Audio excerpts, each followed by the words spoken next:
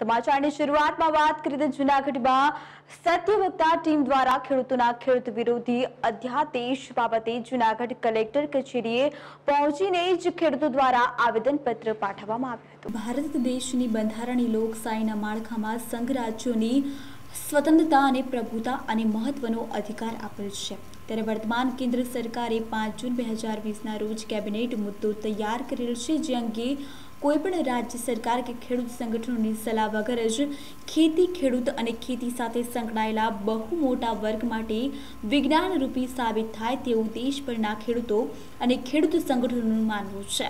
એનો અભ્યાસ પણ એવો સંકેત આપે છે અને આદેશને દેશભરના મોટાભાગના સંગઠનોએ વ્યક્ત કર્યું છે. દેશભરના ખૂબ મોટા પ્રમાણમાં વિરોધ પણ ચાલુ છે જેના અનુસંધાને જ આજે ખેડૂતો એમના હિતાર્થે સ્વયંભૂ બંધનું એલાન પણ આપ્યું છે.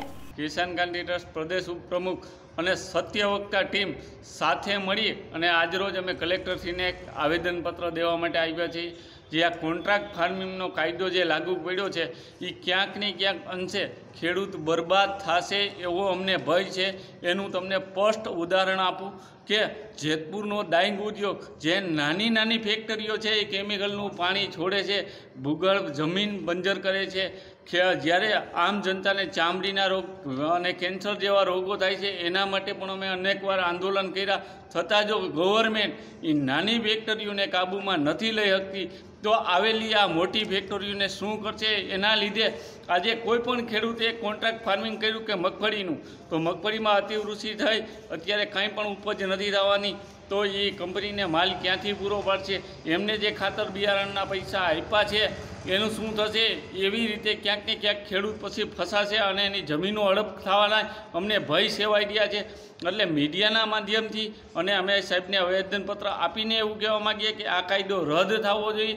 ખેડૂતના હિતમાં કાયદા લ્યો. આ જે કાયદા તમે લ્યો છો, એ ખેડૂતના હિતમાં હોય એવું અમને લાગતું નથી. આજે સત્યવક્તા ટીમ અને કિસાન ક્રાંતિ ટ્રસ્ટના પ્રમુખ આપણે પટોળિયાની સાથે તથા અમારે ભાવેશભાઈ કોરાટ અને સંજયભાઈ કોટડિયાની સાથે આજે કલેક્ટર કચેરી ખાતે રૂબરૂ આવી અને આવેદનપત્ર આપેલું.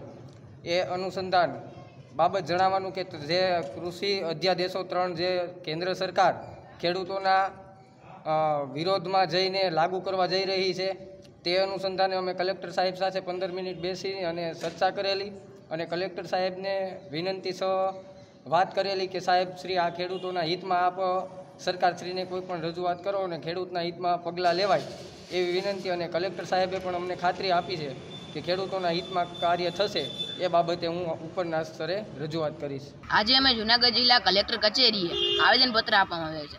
જે આવેદનપત્રમાં અમે રજૂઆત કરેલી છે કે જો ખેડૂતોને પાક નિષ્ફળ ગયો છે, અતિવૃષ્ટિને કારણે દુષ્કાળ, પૂર જેવી પરિસ્થિતિ છે, તેના કારણે ખેતરમાં પાક થયો નથી અને જે રાજ્ય સરકાર તેની માટે સહાય કંઈ પગલાં લેતી નથી, સહાય કરાવવા માટે.